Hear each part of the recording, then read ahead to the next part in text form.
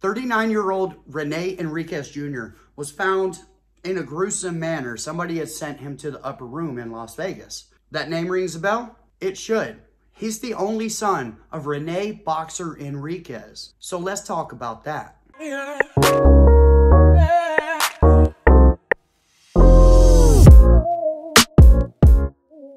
So Rene Enriquez Jr. was found in gruesome fashion, like I said, in Las Vegas. He was found in the desert in a barrel. Somebody had went to hacking on him. Now they have a suspect. They have they had two suspects really. Ryan Bentley, Angelica Hudson. Now for whatever reason, it looks like the grand jury failed to come back with a true bill. They had charged them in the grand jury. They had sent it to the grand jury with open murder, conspiracy to commit murder, conspiracy to commit first degree kidnapping, and kidnapping. That fell through. So now he's being held in Clark County Detention Center with no bail for open murder and conspiracy to commit murder. Angelica Hudson, she's not being held. There is no case against her. Take that for what it is. I'm not sure.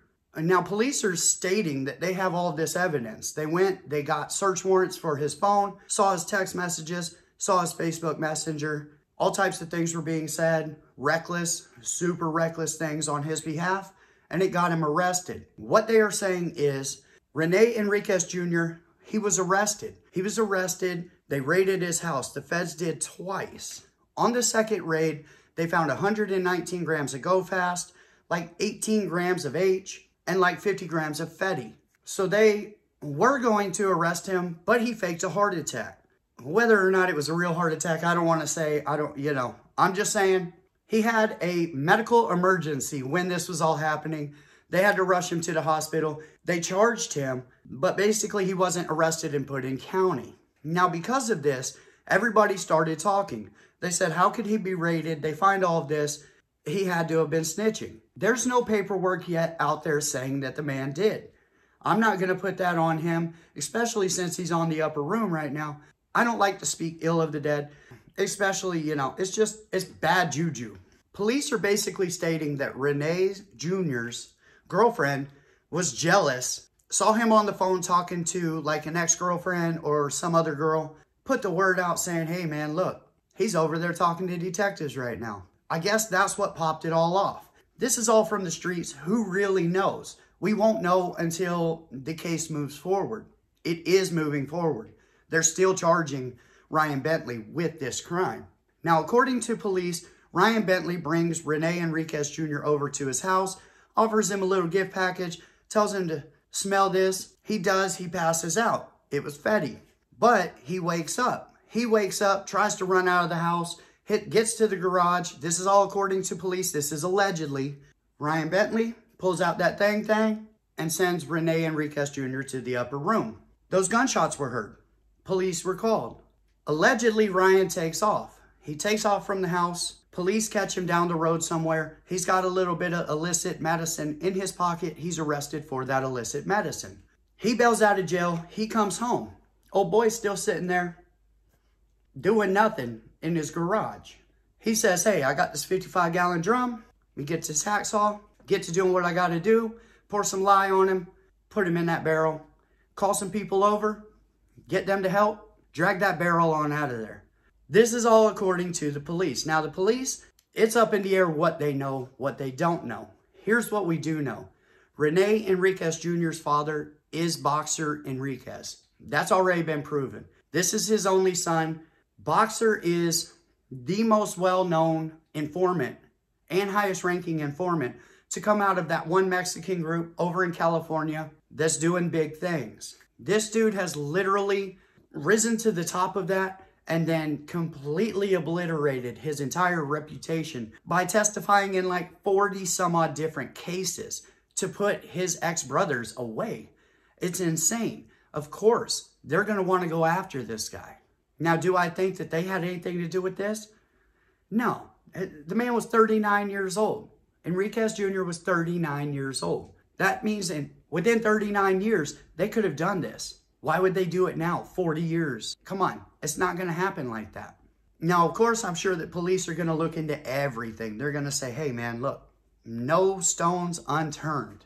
Whether or not Ryan Bentley had anything to do with this or he was just on some tweaker high saying that he did, you know, trying to boast and all this, that's for the courts and the police and that's that's none of my business really. My business is telling stories. This story happens to be the death of the only son of the number one informant in America maybe. Michael Thompson, Rene Boxer Enriquez. Those are the two. It's like these men have made professions out of snitching. They're professional snitches. Would it suck if his son got taken out because of who his father is and what his father did? Absolutely. That would be horrendous. For him to have the same name and run around Vegas, and I've heard little things here and there saying that he used to brag, oh, my dad's getting out, he's going to come back, all this, blah, blah, blah. Bro, if your dad is a notorious informant or snitch, go on, change your name. Don't tell anybody about it because this type of stuff is going to make you a target. Then when something happens like the feds raid your house, you fake a heart attack and they don't arrest you, but they still charge you. Well, they're going to say, hey, like father, like son, write it off and send you to the upper room. And that looks like exactly what happened here. I can't find anybody in Las Vegas, in the streets, that knows Rene Enriquez Jr. that will say that that kid snitched or that will say that he was a bad person. Everybody says he was really great. He was awesome nothing like his father. He was in, in the dope game. I mean, many of us were and are in Las Vegas. Is kind of the thing. If he was my friend, I wouldn't go looking to send him up, but I just wouldn't fuck with him until I knew what was going on. That's just kind of how I rock, though. I'm definitely not going to invite him over to my house, do a bunch of craziness. What the police say that Bentley did, I mean, bro, you're doing too much. You're doing far too much when it comes to something like that. Now, however this all went down, it didn't go down with my group. I had somebody from our group tell me, hey, you know that kid. I said, no, I, I don't know him. They said, no, he's hung out with us before back in the day, 20 something years ago. You know this kid. If I do, I was probably high or on a mission or you know what I'm saying? Like I was wild back then. There are so many people that say, hey, Rick, how, long time no see? And I look at them and I say, No time, no see. What you talking about? I don't know you. No Nintendo, homie. I don't understand. But I have it on good authority that I've met this kid before. I mean, it's possible. I feel bad for him. I feel really bad for him. Like, can you imagine? Can you imagine your father did that and now all of a sudden you got that weight on your shoulders and you try to kind of go down the same road as him? I mean, geez, bro. Now with Angelica Houston. I mean, it shows that she was arrested She's not showing up in county at all. She's not there. When I check her name in the courts, nothing's coming up. I don't know. It's not his girlfriend. I do know that. It's not Ryan Bentley's girlfriend. The the news outlets, they all say, hey, Brian Bentley and his girlfriend did Enriquez Jr. in. No, that didn't happen like that at all. I'm not going to speak on Ryan Bentley because it's an open case. I'm just going to say what the police are saying he did. That's about as far as I'm going to go with that because I don't want to be involved in any of this craziness. It's wild. Them dudes are out there doing too much. This dude, I don't know, he wanted to make himself a name or what. He's he's got a name now. He's got a name, that's for sure. If he goes to prison, nobody's going to come after him for what happened here. I can promise you that. Like I've told everybody in the past, look, Cali politics do not run Nevada's yards. We don't allow it. This outsiders do. But other than that, no, bro. So there's no way a white man hits the yard for killing Boxer Enriquez's son. There's going to be no blowback on him at all in prison. That's assuming that they convict him. The damning thing is, hey man, you shouldn't have text messaged all these people. And now it's probably going to cost you your life. You're probably going to get 20 years. If they come at him with a plea deal, cool. If somehow he comes around and says, hey man, look, I got some things I need to talk to y'all about, which I don't think is going to happen. Not many people go and do something like this and then all of a sudden turn and you know, rat everybody out. I mean, it just doesn't normally happen like that. It has in a few cases. Sammy the Bull, Powder, things like that, right? So I will be watching this case very closely. Everybody's getting it confused saying, oh, he was he was indicted and they came back no bill on the first indictment. That's true. But now they've re-indicted just him, just Ryan Bentley. Angelica Hudson, she's not on it. If she didn't do it, she shouldn't be on it. I mean, that's just the way it is. one of your homeboys does something like that and then they call you and they're like, hey, I need your help. And then you go help them and then they turn and they snitch on you. That's a cold game right there, bro. That's what he'd be doing to Angelica.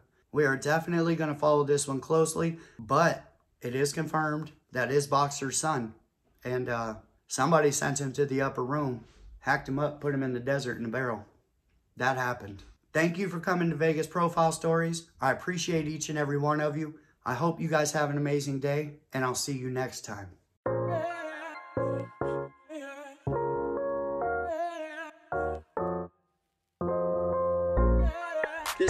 Was, but it's definitely not who I am.